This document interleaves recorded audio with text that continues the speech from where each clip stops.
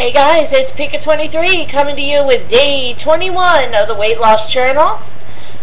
Uh, today is the third official week that I have been blogging, and also the fourth week of my diet. Woohoo!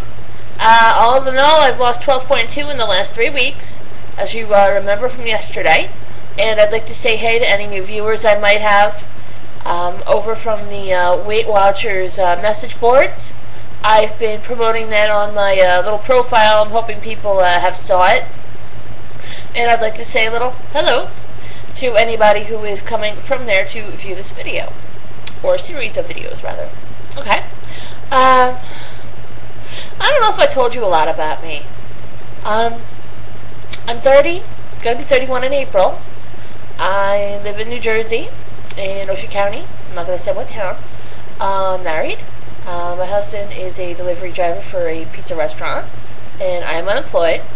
Uh, I got a job interview tomorrow. I am uh, in the medical billing and coding industry, actually. I went to school last August, mm, May August for that, and I'm waiting to go back to school so I can get me. Uh, I'm a certified billing coding specialist, but I need to go and get my um,